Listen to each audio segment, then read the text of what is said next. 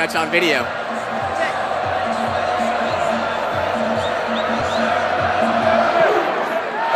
Right, if he returns this, this is going on YouTube.